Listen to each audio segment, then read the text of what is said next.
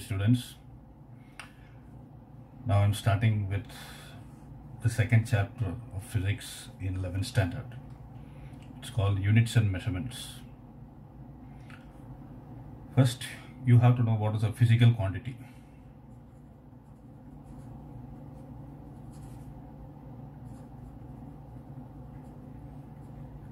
Anything that can be measured is a physical quantity. Example, mass. Mass can be measured.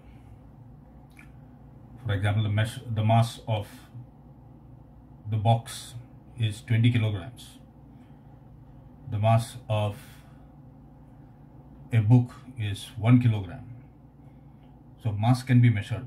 Similarly, the length of your classroom, let us say it is 7 meters. That means length can also be measured. So anything that can be measured is a physical quantity. We have various examples of physical quantities. Just now I gave you two. Mass, length. You can measure time. You can measure temperature. You can measure speed. You can measure force, etc. You have a large number of physical quantities. Okay. Now, to measure a physical quantity, we require a standard reference. For example, to measure mass, you require a reference. You cannot say that the mass of the table is 50 or the mass of the car is 2000. You have to, you require a unit to measure it. The standard reference used to measure a physical quantity is called its unit. The standard reference used to measure a physical quantity is called the unit of the physical quantity. So what is the unit? It is the standard reference used to measure a physical quantity. I'm giving physical quantity as PQ okay. So this this is the standard reference used to measure a physical quantity. Long back there were various systems three different systems of measuring systems of units used to measure physical quantities. The first one was called fps f PS because at that time the physical quantities commonly used were length, mass and time. Length was measured in foot, mass in pounds,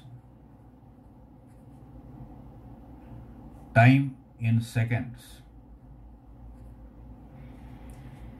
So this system in which length was measured in foot, mass was measured in uh, pound, time in second were followed by the British. The British and the colonies of the British, including India, used to follow FPS system. In FPS, length was measured in foot, mass in pounds, time in seconds. French and their colonies used to measure length in centimeter, mass in grams, and time in seconds. So what is this? Centimeter gram and second. This was followed by French. The rest of the world used to measure length in meters, mass in kilograms, time in seconds. This is called the MKS system. It's called MKS system. So, so in the British were following FPS, French CGS, rest of the world were following MKS. In MKS, length was measured in meter, mass in kilograms, time in seconds. These three physical quantities, length, mass, and time, were the fundamental physical quantities because all other physical quantities were derived from these physical quantities mass, length, and time. For example, speed was measured, it is distance traveled upon time, that is length upon time. Volume, volume was length into breadth into height, that is length cube. They were so these terms were these physical quantities were called fundamental quantities, so fundamental physical quantities. Later on, one more fundamental physical quantity which could not be derived from these three physical quantities was discovered. That was electric current. So, electric current was a fundamental quantity and its unit was ampere. So, we had one more new system of units meter, kilogram, second, ampere, MKSA system ampere for electric current. So how many different systems do we have right now? We had earlier one, two, three, four.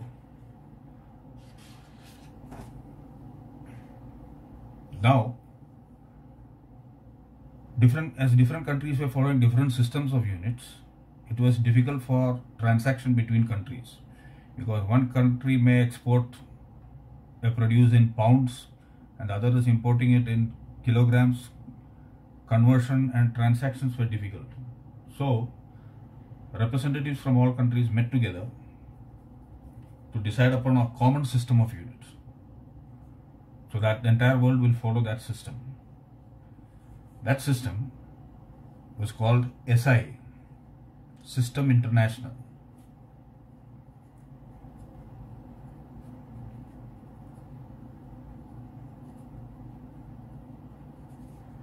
System International.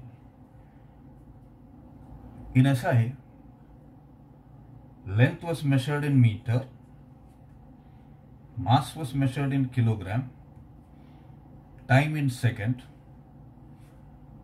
electric current in ampere.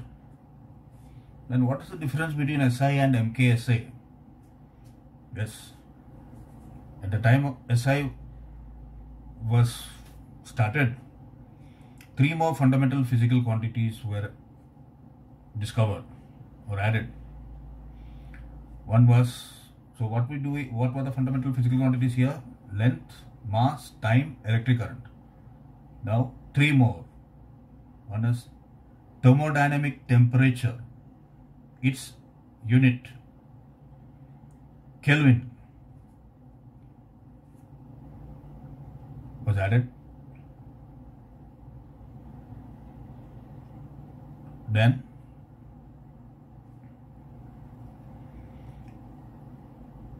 amount of matter or quantity of matter its SI unit was mole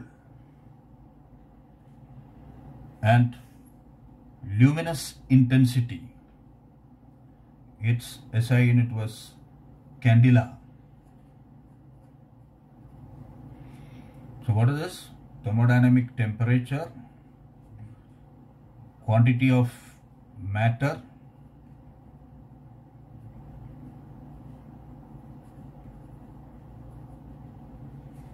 and luminous intensity.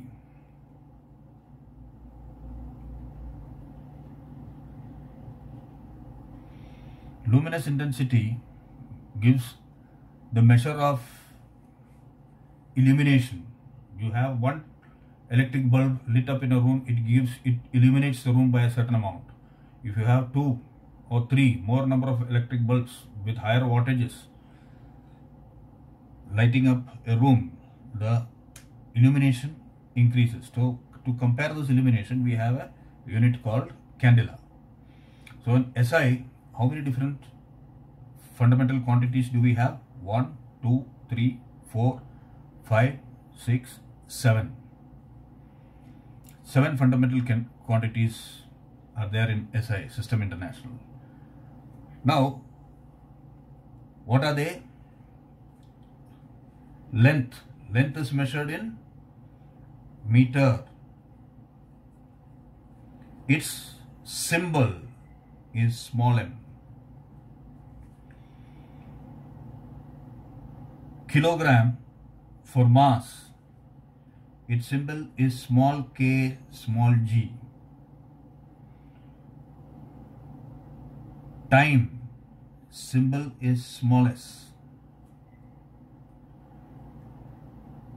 Ampere, electric currents unit. The symbol of ampere is capital A. The symbol of thermodynamic temper uh, Kelvin, the unit of thermodynamic temperature, is capital K. And that of mole is small m o l. And that of candela is CD. These symbols are very important. The, the, the way to represent the symbol of meter, small m, that of kilogram, small k, small g, small s, capital A, capital K, small m, O, L, small c, d. These symbols are to be followed properly.